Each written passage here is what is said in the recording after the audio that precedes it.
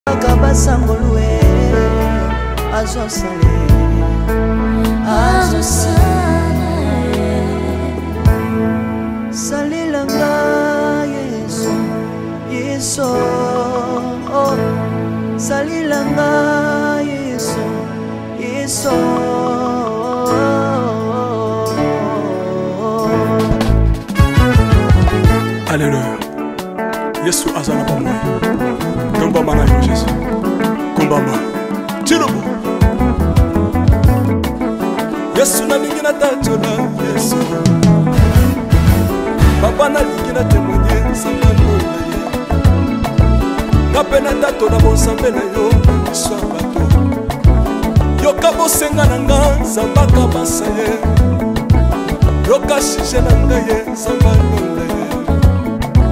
na ye na bapasi na nga shalom se papa moïse prophète ya église ozana naye kopesa bino message lelo mpo na baoyo baza na bablocage balimitation bamari de nuit baesprit de mort bamaladi oyo esilaka te mais mingimingi naza na besoin ya baoyo batambola partout oyo baluka badelivrance oyo bamata kutu baavion mpo na koluka badelivrance esimba te naza na besoin na bino boya mpo bobika mpo ete ngonga na bino ekoki awa babenga yango terminus awa nde ezali esika bademo nyonso tu basukaka moto moko nano aya awa te azwa delivrance kabika te nano esalama te bango nyonso tu babika avant kutu boya bofukama bosenga saint esprit alakisa bino soki papa moïse azali ya ye ubia ya ye te akorepondre bino tout de suite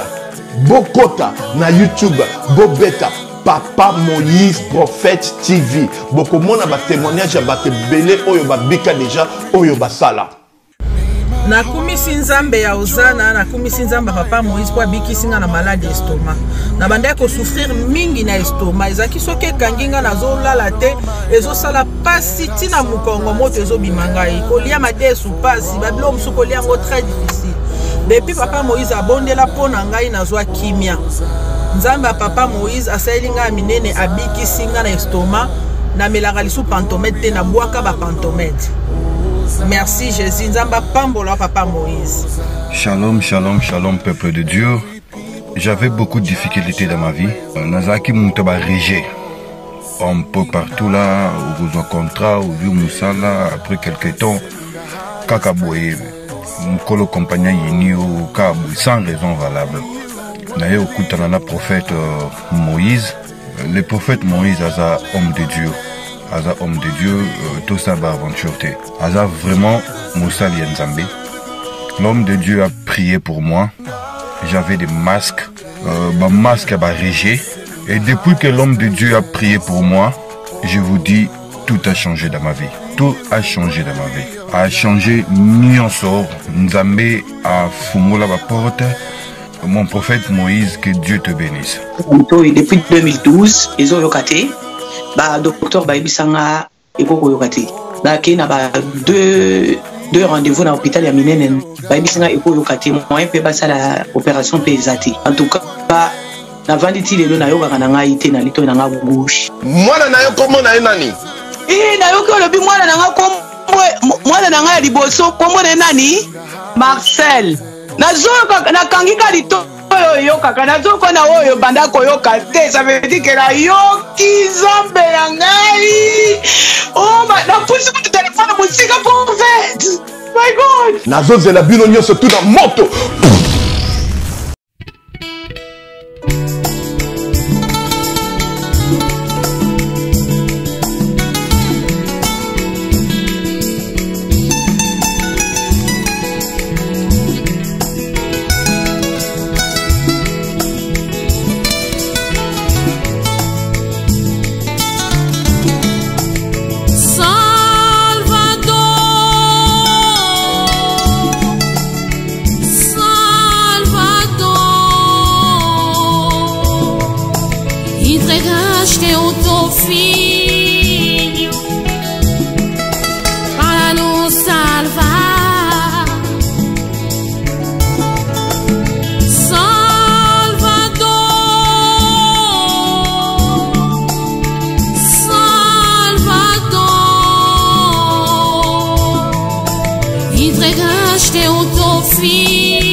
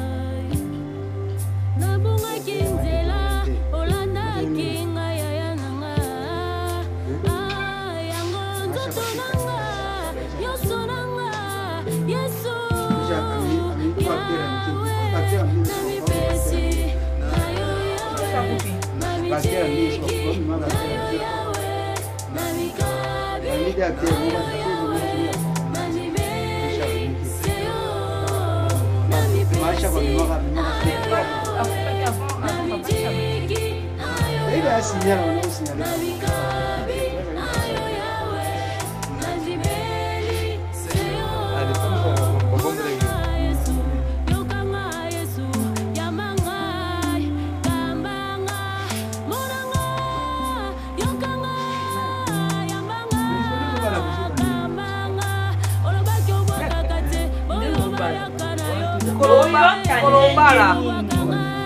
ndenge obala koyoka te okati bajenda nyonso na place ya lipaki na ngo ali atiki bajenda nyonso omona motu moko alela ko fort na tere kuna na poto vraiment akwa elobeli alobaka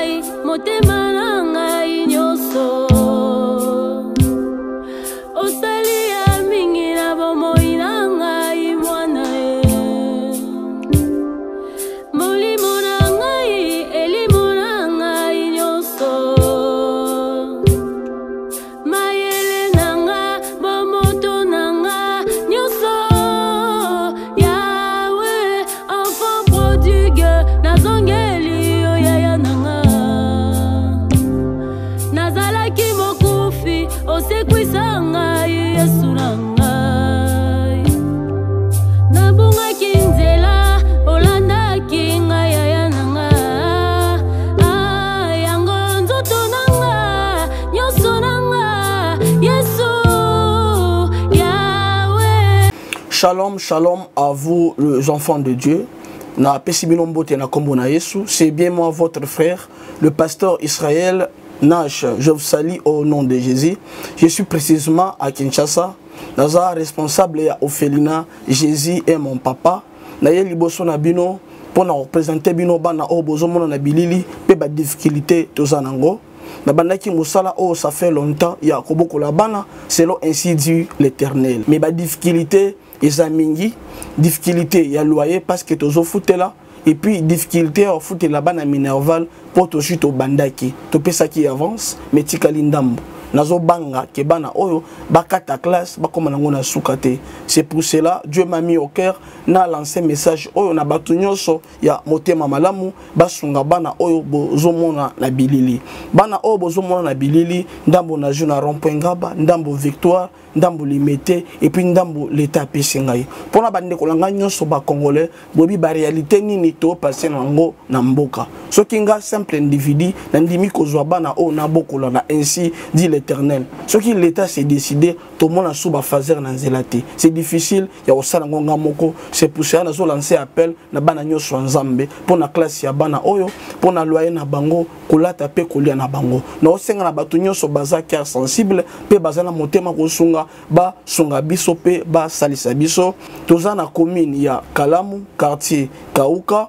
référence ya monene tokangami na université kimbangiste aveni nkombo na yango eza marin numero 16 numero ya telefone na biso mpo na bato balingi bacontacte biso mpo na badetail mosusu eza plus 243 89 72 32 229 eye ong vida elance bongo opération sunga orphelin na 1 dollar alia amela alata initiative de maman emily seti mayinga mwasi nzambe na 1 dollar na yo tu peux sauver une vie note bien descente ekozala bongo na baorphelina mokolo ya 24 décembre 2021 mais soki tosala bolamu livre ya souvenir efungwama même après la mort même après retour à christ yaya misala na biso etemone biso liboso na nzambe bien aimé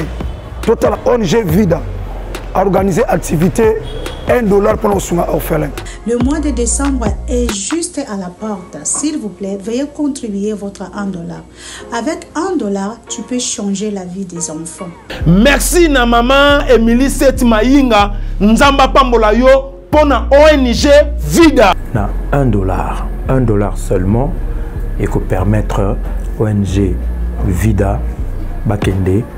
ba collecter yango bakende kopesa ba orphelins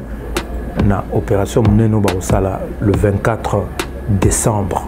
ya année oyo nakola na mwa mpasi me nazala orphelin te nayebi bongo sikoyo oyo azangi baboti celui qui donne aux orphelins prête à l'éternel toza na mposa tosepelisa bona 1 dollar ya pamba ekofutela orphelin mo classe topesa 1 dollar ya pamba mpo na bonne année orphelin azanga loso te soso te fufu ya kolia te tobimisa crise kati na biso topesa na oyo tozala 1 dollar nalinga orphelin yango nalobi 1 dollar na biso ya nde naoloba boye benga na nimero wana opesa 1 dollar no ndenge nazopesa tout à l'heure soki ozalaka motema malamu ya kosunga tala kanal malamu ya kotina mbongo na yo tozali bongo na mpesa ebank airtel money bana nyonso ya canada to états-unis bokotina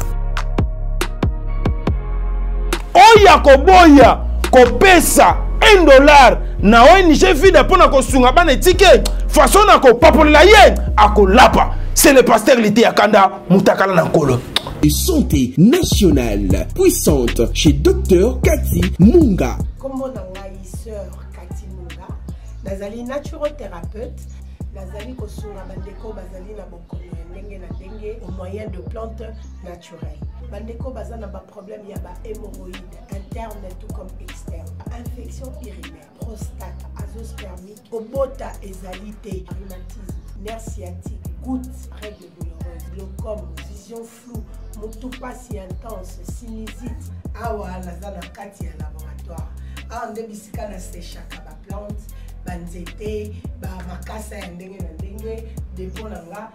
yango oyo esika nasalaka baformule na basolution na ngai merci na ekipe mobimba ya maison chez kati en particulier joyce bolabo eye bino bato oyo boza na mposa botinda biloko na bino ekóma na kisasa na ndenge kaka botieli boezite te agence eza kaka moko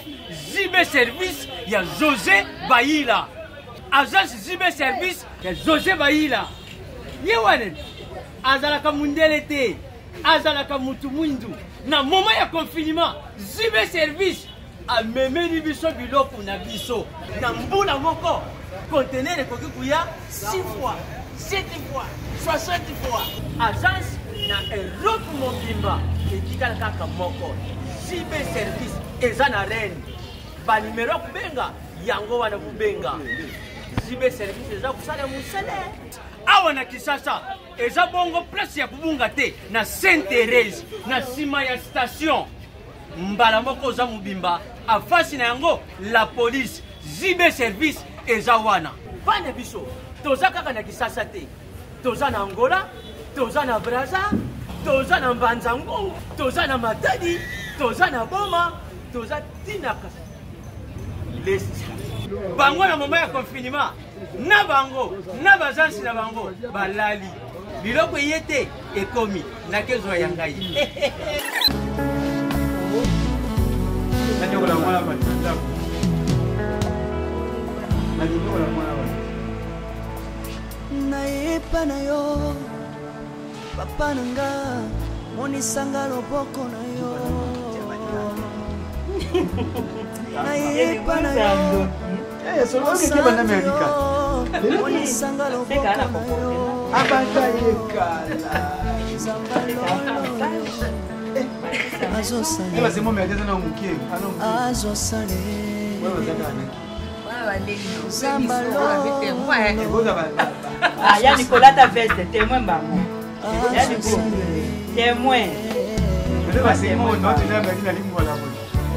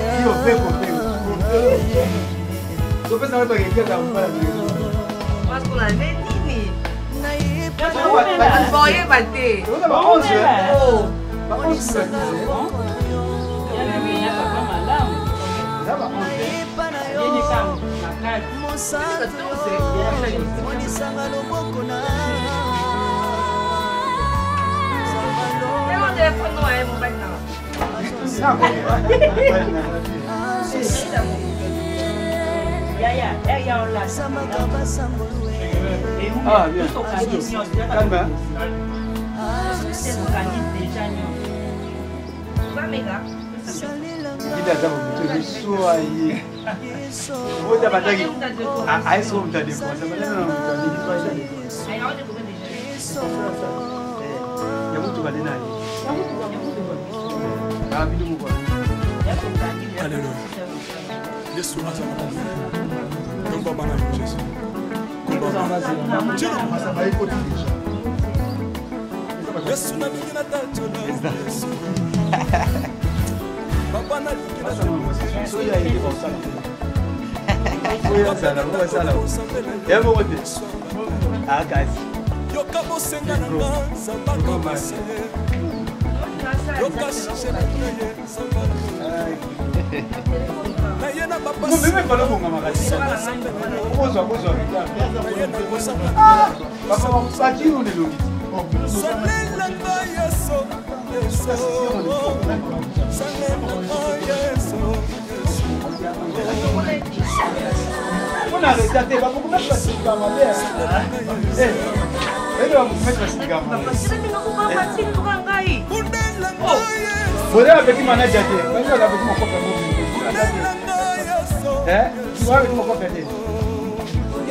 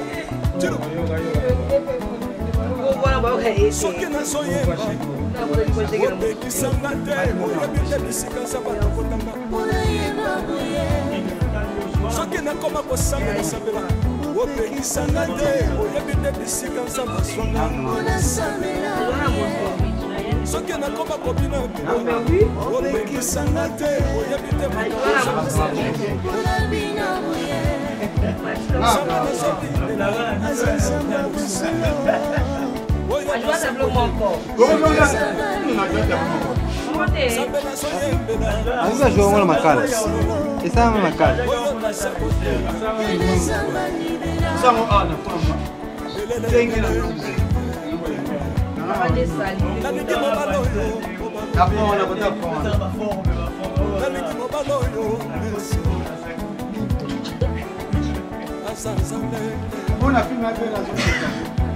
Ayoki bosenga na ngai masambaka masa ye. Ayoki balaki so ba ba ba ba ba. Nazalaka locataire apesi nga natambolaka makolo nazalaka kobalaa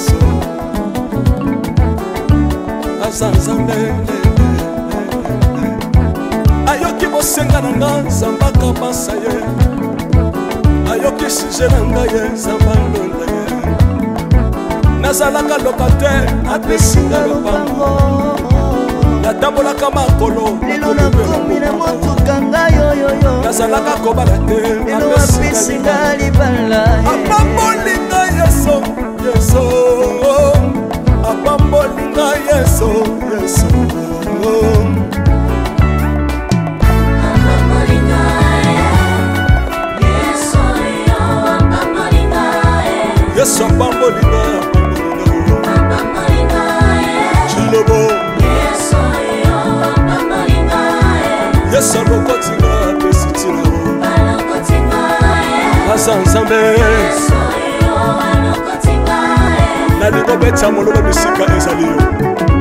beta mololo wapi bafisi du prophète bana royaume de dieu bana centre de réveil ozobouge ozobouge obinaka wapi mpo napambola yo ingénieur ki on est ensemble